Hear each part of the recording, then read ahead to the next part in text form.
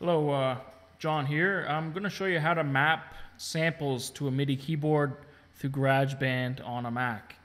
So here we go. You have to have a WAV file, sample, whatever you want to put on the keyboard. And uh, right now we have two WAV files and uh, an MP3 file. So we got to rename that. So what you got to do is rename it to WAV instead of MP3. And it goes automatic like that. So you say use WAV and then boom, it's WAV. So all right, here we go. We have an empty project. We'll start that baby up. And we're gonna use a MIDI keyboard, so create. And right now I'm using a MIDI keyboard that is an Akai MPK Mini. And I'm gonna show you how to map it I'm a little rough at this, but uh, for those who want to learn how to do it, it's kind of hard to learn.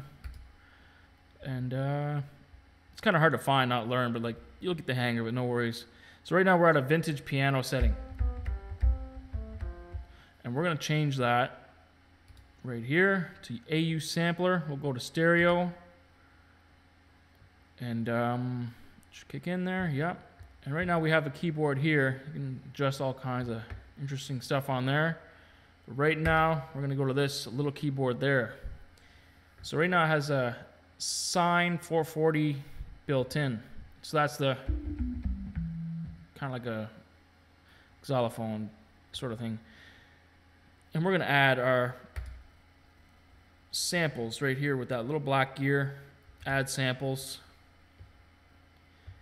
And my samples are right here. So we're going to go for the Hell Yes WAV. So we got the Hell Yes.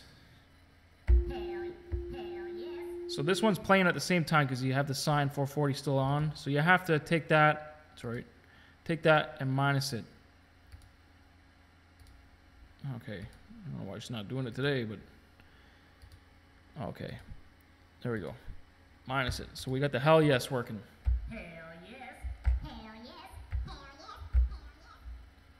And we're going to map it to the C4 key for now. So right now it has here to there. So minus C1, C minus 1 is to G9. So C4 and C4. So that is going to be right on that C4 key and in that octave. So here we go. So all the other keys that I'm hitting won't play it. Hell yes. But the C4 will play it. So here we go to. Oh man, I wish I knew music a little bit better. but this one uh, is C4, right? A, B, C, D.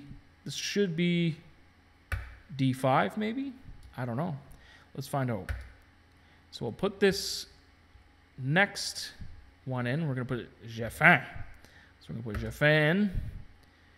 And right now, it's all over the it's all over the keyboard, right? See, now I want to put it A, B, C, D. Is it a D4? Let's see if it's a D4. Okay. D4. Okay. Capital D, 4 to D4. I'm not too sure if it's that's how it is, but we'll find out. It is. So that is a D4. I'm learning the keyboard. Never too late to learn. So that's what we have C4 and D4. And now I'm going to put one more in.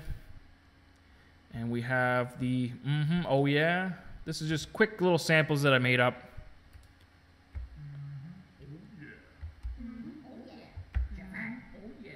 See, it still plays at the same time.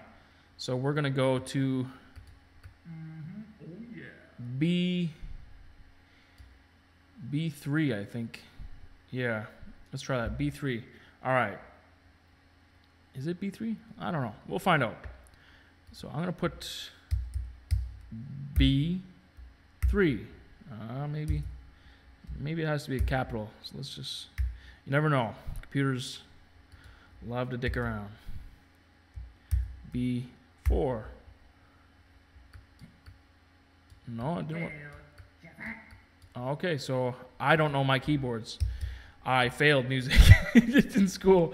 All right. So I'm going to find this bad boy. C sharp 4. How about that? Well, let's put it a C sharp 4. Okay, so put the capital C, and then you put your pound sign in for the sharp. C sharp 4. And we'll put C sharp 4. Oh, C sharp 4. And boom, it's right there. So that's it. So that's how you map a keyboard with samples. And uh, I hope you enjoyed the video. I know it's a little rough. It's my first time, and I'm relatively new to a Mac. So uh, I hope you have fun and uh, enjoy your time making whatever you want to make. You can do whatever you want with this stuff. Have fun, guys. See you around.